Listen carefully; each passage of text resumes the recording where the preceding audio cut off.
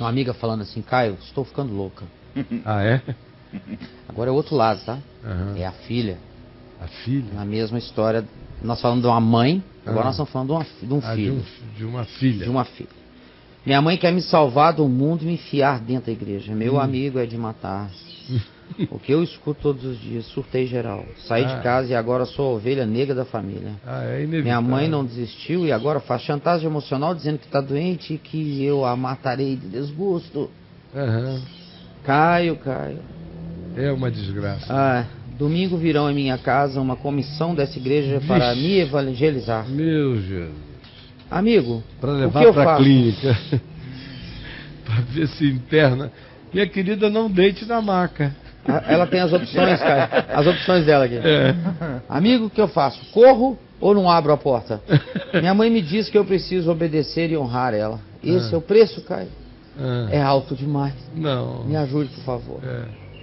Honrar a mãe não é esse tipo de coisa. Honrar a mãe, o- a palavra hebraica que, que se diz honra pai e mãe, ela significa algo muito mais amplo.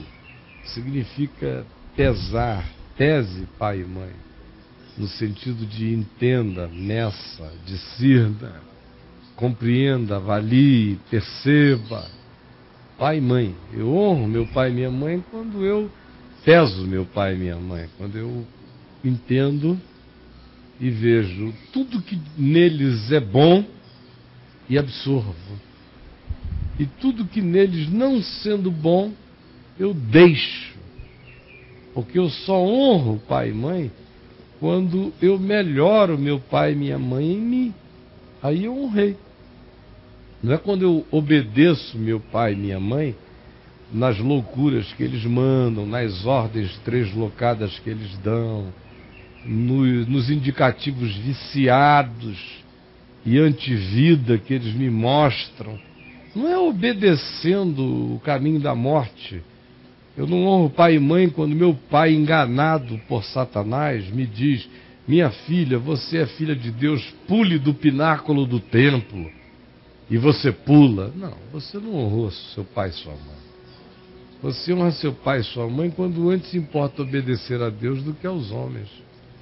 Mesmo que seja contra um desejo de pai e de mãe, você está melhorando seu pai, sua mãe, que não entenderam até hoje coisas do Evangelho que você já entendeu, você os está melhorando na sua prática. Então, honrar pai e mãe é entendê-los, discerni-los, avaliá-los e melhorá-los em nós. Agora, avalie e veja quais as implicações da reunião de domingo.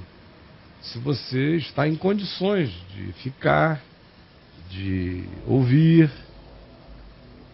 se você tiver maturidade para isso, se tiver equilíbrio emocional para isso, se tiver bom senso, paz para isso, calma para isso, você pode até recebê-los e ouvi-los e tratá-los com todo amor, sem nenhuma atitude de superioridade supra-religiosa, pelo amor de Deus.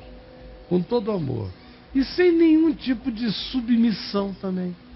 Nenhum tipo de submissão. Não tem que deitar na maca, não tem que tomar nenhum compromisso. Quando eles chegarem aí e orarem por você, quando terminarem, ore por eles também. Ore por eles. Acabaram de orar, você ore por eles. Senhor, quero te agradecer a vida dessas pessoas que vieram aqui preocupadas comigo, com o meu coração, desejando o meu bem. Eu peço que tu as abençoes, abençoes a casa delas, as famílias delas, e que tu as enchas do teu amor, do teu espírito, assim como eu peço que tu faças isso por mim também. E que Deus as abençoe, abençoe-as e deixe-as ir.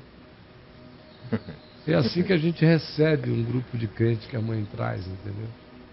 Agora, se você não estiver preparada para isso, se for para ficar brigando, discutindo, ou zangada, ou gritando, ou naquela troca-troca horrorosa, é melhor dizer, mamãe não venha porque eu vou sair, eu tô, tô indo a Friburgo, e vá. Tem na Friburgo? Estou dando um exemplo, né? e vá, se você não tiver essa capacidade mínima de maturidade. Mas aprenda o que é honrar pai e mãe, é isso que eu acabei de lhe dizer antes. Tá bom, minha querida? Sim, cara. Mas não deite na maca, me prometo, tá legal? Não deita na maca, não. Vamos te amarrar e você. Você pode ficar de joelho com o netinho nas costas, como o Tony ficou. Tony, não dá pra...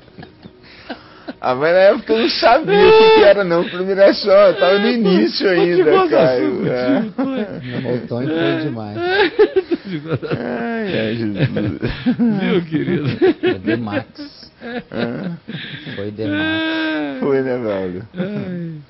Meu Deus. Ele, ele, ah, ele andou tantas milhas que ele fez a volta em Andrômeda. Esse Tony é um filho.